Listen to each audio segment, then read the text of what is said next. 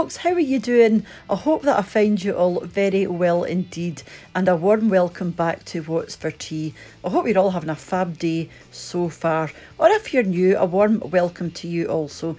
This is What's for Tea, and my name is Cheryl. So this was the one that you guys voted for, and this is going to be the second recipe from my new cookbook, The Best of Traditional Scottish Cooking. These are absolutely marvellous. We've just not long had these for tea, and I just can't tell you how tasty these were, and they're highly, highly recommended. I mean, they're really popular in this country for a good reasons.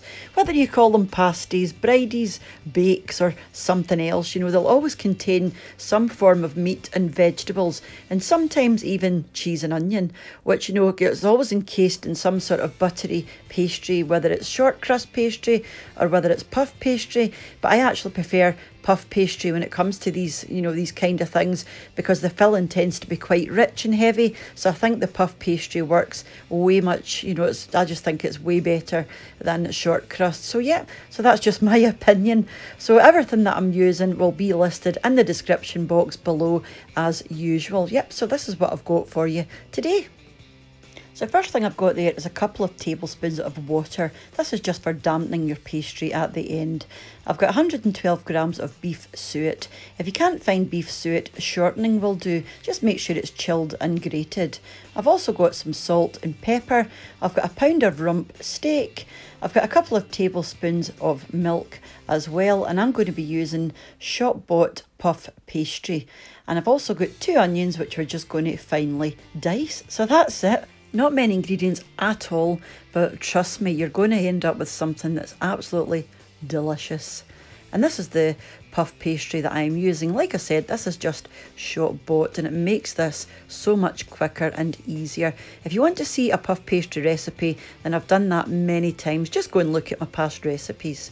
So the first thing we're going to do is chop our onions. Now I've got two here, but I ended up just using one and a half because these onions are actually quite big and I decided that I probably wouldn't need the two. So I've just used one and a half large onions.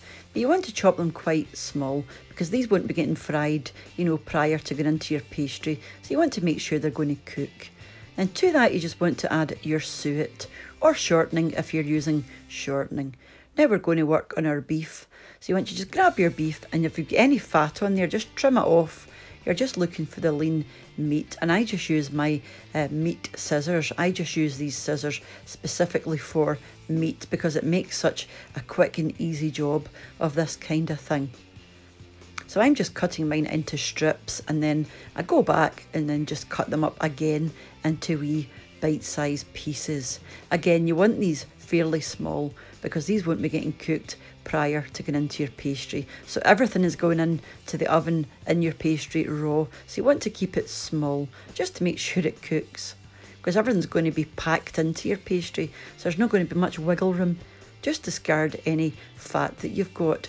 So go back to your onions and your suet and pop your meat in the bowl as well. You just want to give a wee shake of salt and pepper, as much as you like or none at all, it's up to you.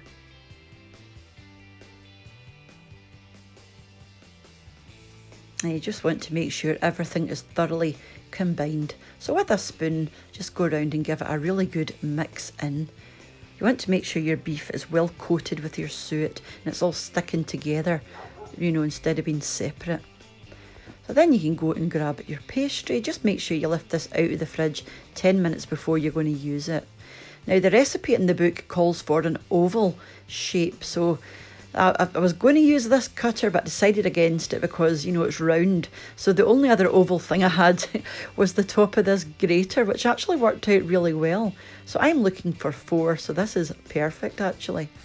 So I just grabbed a knife and cut round this. I just use this as a kind of template because I don't trust myself trying to do it freehand.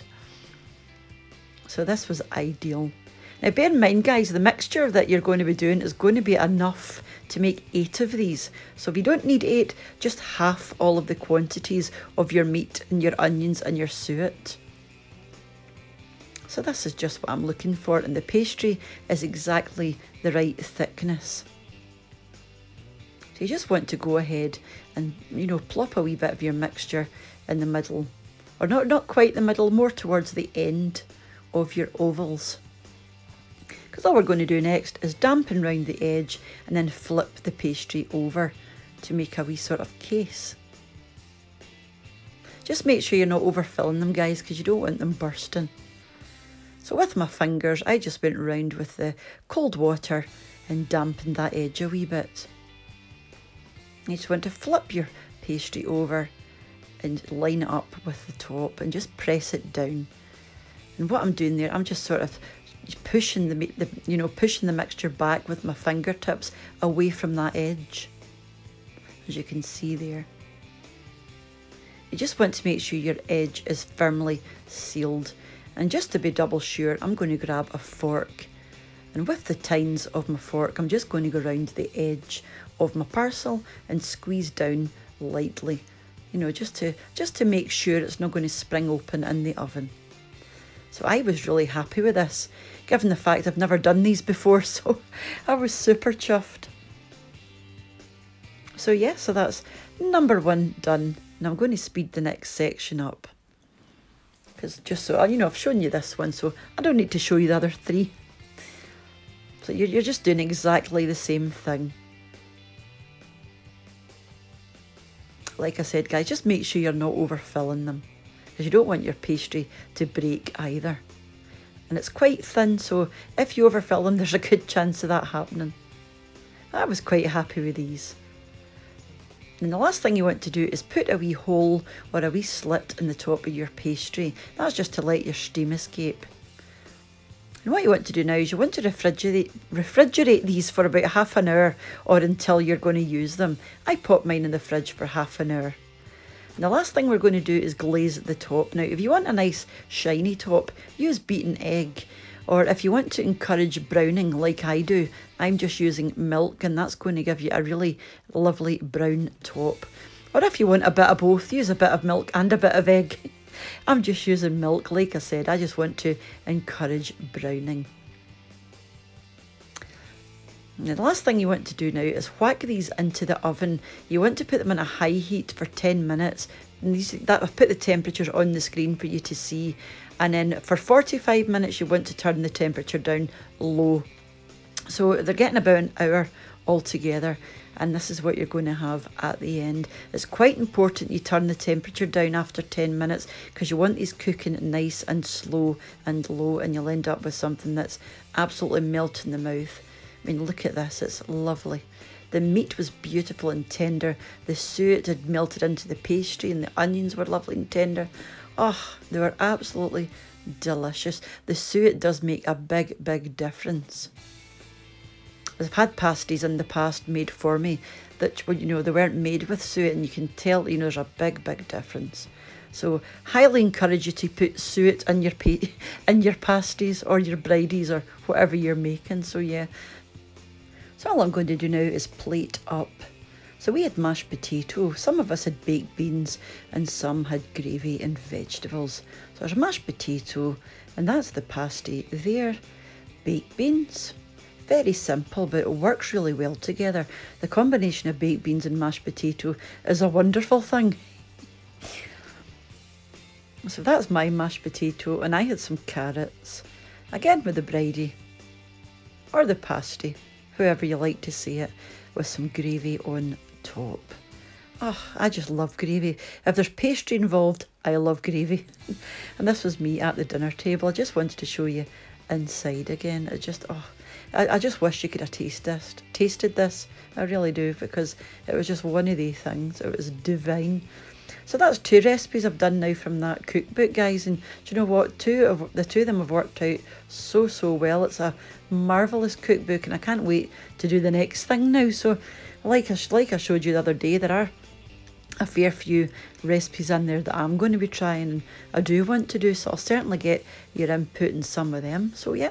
So thank you very much for popping along for this one guys and showing your support and coming back and having a wee look. And mind and let me know if you're going to give it a go yourself. And if you end up making in them and if you're on Instagram mind to tag me on Instagram or you know send me your pictures or show me your pictures because I'm always super chuffed and quite a few of you have done that. Now you know you'll get the wee notification on Instagram and then you'll go and have a look and you think oh that's so nice and you're saying how much you're enjoying the different bob, bits and bobs. In fact, one of you had done the Becky of uh, Kabuki Clown. She had done um, what is it the broccoli and stilton soup that I'd done a few weeks ago. She'd actually made that and she'd uh, sent me a picture. So yeah I was super chuffed to see that. So that was it guys. That was my super duper easy recipe. And it is really easy. If you make you know if you use the shop bought pastry it's super simple and you will not regret it. So, like I said, guys, thank you very much for popping over and checking out the recipe. So, until I see you next time, mind to Take care of yourselves, and from our house in Scotland to wherever you are in the world, bye for now. Bye now.